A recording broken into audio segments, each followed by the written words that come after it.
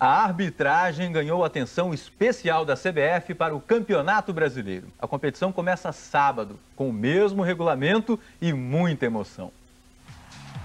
20 clubes e o mesmo sonho. Sábado começa o Campeonato Brasileiro. Serão quase sete meses de competição, com os times se enfrentando em turno e retorno. Quem fizer mais pontos fica com o título. Mesmo sistema da Série B, a partir de sexta-feira. Nas duas competições, não será mais permitida a venda de bebidas alcoólicas nos estádios, medida adotada pela CBF para coibir a violência nas arquibancadas.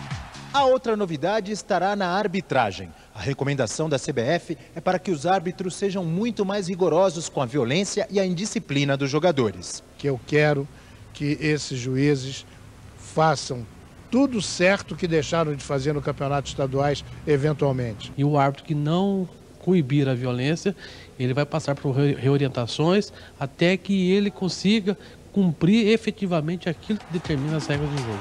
Agarra-garra dentro da área, rodízio de faltas em cima de um mesmo jogador, comemorações consideradas provocativas, carrinhos violentos por trás, de frente ou pelo lado. Nada disso será tolerado. A estrela é o jogador, os jogadores estarão praticando seu futebol, estarão praticando os dribles e farão bonitos gols aí no Campeonato Brasileiro. Para a alegria dos amantes do futebol.